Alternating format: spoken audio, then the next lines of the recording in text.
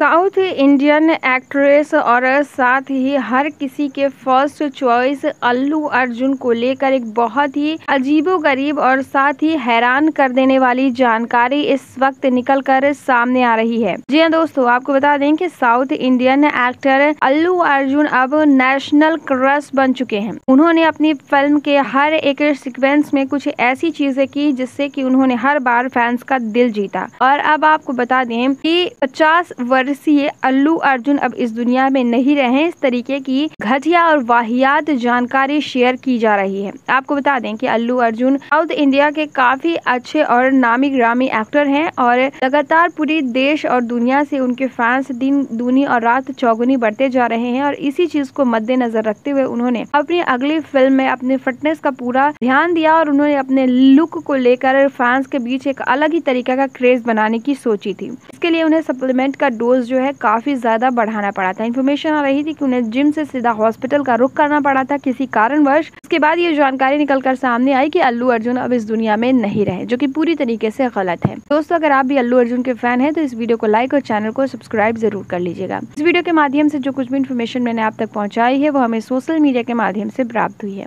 बात में कितनी सच्चाई है, इसका पुष्टिकरण हमारा चैनल नहीं करता है और न ही किसी भी तरीके की अफवाहों को फैलाना हमारे चैनल का उद्देश्य है। हमें अपने कीमती समय देने के लिए धन्यवाद।